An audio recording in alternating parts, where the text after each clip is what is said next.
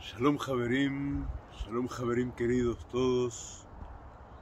Hoy es jueves.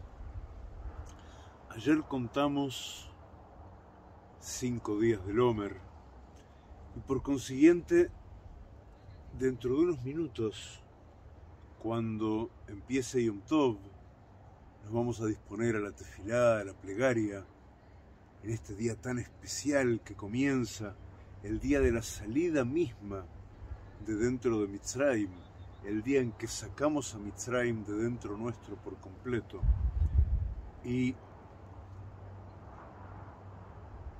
y ahora, con la puesta de sol que se prepara a mis espaldas, por eso esto va a ser muy cortito, quería decirles que estaba pensando que ahora en un rato, cuando bendigamos otra vez el Homer, Vamos a poner nuestra intención en el tikkun, en la enmienda, en la reparación de la sefirá de Yesod de Gesed, el fundamento del Gesed, el fundamento de la voluntad de bien, esa batería que da la fuerza para tomar el empellón y descender a la Malhut, al reinado, al mundo de la acción donde nos toca probarnos. Y la pregunta es, ¿de qué manera enmiendo yo? ¿Dónde encuentro yo de verdad el yesod de mi propio Gesed? ¿De qué manera hallo rectificado en, en su manera más perfecta para el shalom, el yesod que sustenta al Gesed que hay en mí, al Gesed que expreso, al Gesed que revelo, a la piedad, a la empatía, a la voluntad de dar. Yo hallo ese Yesod en, en el 615 del camino de Sabiel, explicado en el libro de Sabiel, y en el taller que hicimos, que también está disponible con 7 horas de video, y en alguna conferencia que otra en el canal de YouTube. El 615, ese que dice, desde mi carne, ese punto, esa capa de la conciencia, que dice, desde mi carne, desde mi cuerpo físico, percibiré divinidad. Y eso lo que, a lo que va es a la capacidad de percibir divinidad en todo no solo con, los ojos, sino con todo lo que se propone a nuestro sistema cognitivo para incorporarse al flujo de nuestro pensamiento y de aquello que nos constituye y en que nos convertimos.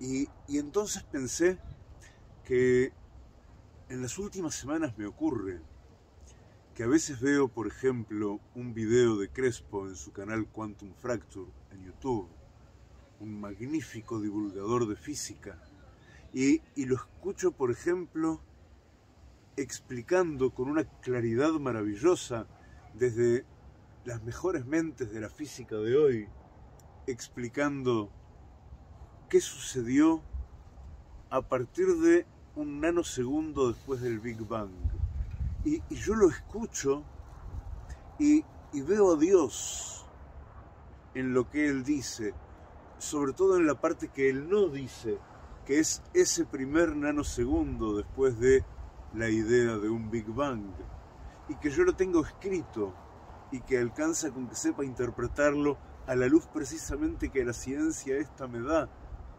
Y es maravilloso. Y luego presto atención a, un reportaje de más de una hora de hace un par de días a Elon Musk y, lo escucho hablando de, de su idea moral del mundo que adviene y también encuentro a Dios por todos lados, no solo en lo que Él dice y ni siquiera específicamente en lo que Él dice, sino en toda la conformación de su discurso, en su voz y en lo que calla. Y así me pasa en casi cada cosa que miro. Fijaos, esta, esta puesta de sol, ¿cómo puedes sentarte frente a esto? O frente a las bandas de gaviotas que pasan por aquí encima varias veces por día. y no ver divinidad en todo, no ver un dibujo fascinante de, de puro bien que se te prodiga y que te viste.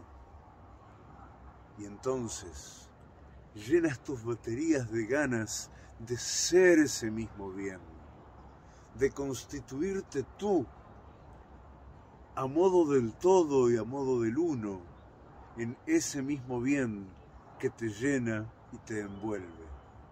Solo hay que abrir los ojos y entonces el mecanismo continúa por cuenta propia. Javerim queridos, se nos viene Yom Tov encima y hay que encender las velas, las candelas, y tenemos sorpresas para hablar respecto de candelas con ayuda de Hashem en el Templo de Pasos. Que sea esta una noche de salida de Mitzrayim por completo y de tener la oportunidad de reunirnos juntos en el Templo de Pasos a hacer mucho bien, a despertar mucha luz, mucha voluntad sagrada como la voluntad de lo alto que se revela en lo divino que hay en ti, en lo divino que hay en mí. Hag Sameach, feliz séptimo día de Pesach Sameach y Shabbat de Shalom para todos. Mi brajá, dejo este video subiendo y me voy a encender mis velas. Shalom, shalom, mi brajá con todos.